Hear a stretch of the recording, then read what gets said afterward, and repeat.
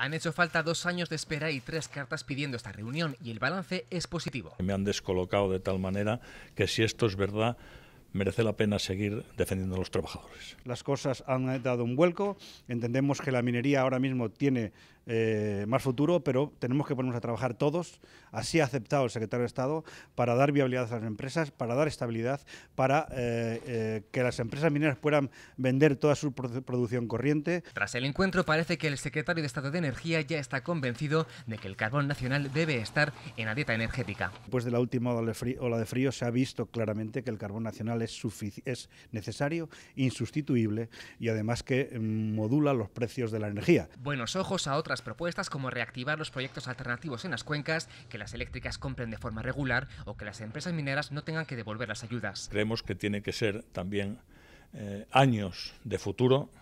No se va a acabar el 2018 si no queremos y por tanto hay que trabajar por un posible acuerdo también que vaya más allá del 2019. ¿eh? Para pasar del dicho al hecho habrá otra reunión previsiblemente antes de Semana Santa para preparar la que retomará la comisión de seguimiento del acuerdo marco.